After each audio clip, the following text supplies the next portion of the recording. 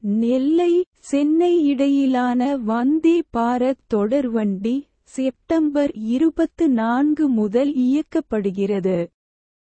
நாளை வாரணாசியில் சர்வதேச மட்டைப்பந்து விளையாட்டு மைதானத்திற்கு பிரதமர் நரேந்திர மோடி அடிக்கல் நாட்டுகிறார். பெண்களுக்கான முப்பத்து மூன்று சதவீத இடஒதுக்கீடு மசோதா மக்களவையில் நிறைவேற்றப்பட்டது. மத்திய பிரதேசத்தில் நூற்று எட்டு அடி உயர ஆதி சங்கரர் சிலையை அம்மாநில முதல்வர் சிவராஜ் சிங் சவுகான் திறந்து வைத்தார். உலகில் அதிக விவாகரத்து பெறும் நாடுகளின் பட்டியலில் இந்தியா கடைசி இடத்தை பிடித்துள்ளது. பொருளாதார ஒத்துழைப்பை வலுப்படுத்த இந்தியா சவுதி அரேபியா இடையே ஐம்பது ஒப்பந்தங்கள் கையெழுத்தாகியுள்ளன. இரண்டாயிரத்து இருபத்து நான்கு குடியரசு தின விழாவில் சிறப்பு விருந்தினராக கலந்து கொள்ள அமெரிக்க அதிபருக்கு இந்தியா அழைப்பு விடுத்துள்ளது. பண பரிவர்த்தனை சேவையை இந்தியாவில் விரிவு செய்யப் போவதாக வாட்ஸ்ஆப் தெரிவித்துள்ளது.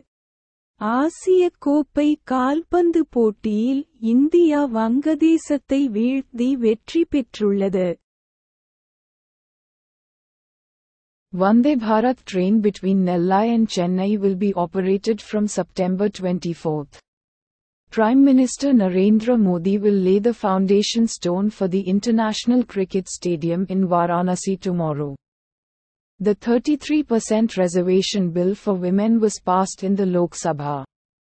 Madhya Pradesh Chief Minister Shivraj Singh Chauhan inaugurated the 108 feet tall statue of Adi Shankar. India ranks last in the list of countries with the highest divorce rates in the world. 50 agreements have been signed between India and Saudi Arabia to strengthen economic cooperation. India has invited the US President to attend the 2024 Republic Day celebrations as a special guest. WhatsApp has announced that it will expand its money transaction service in India. India has won the Asia Cup football match by defeating Bangladesh.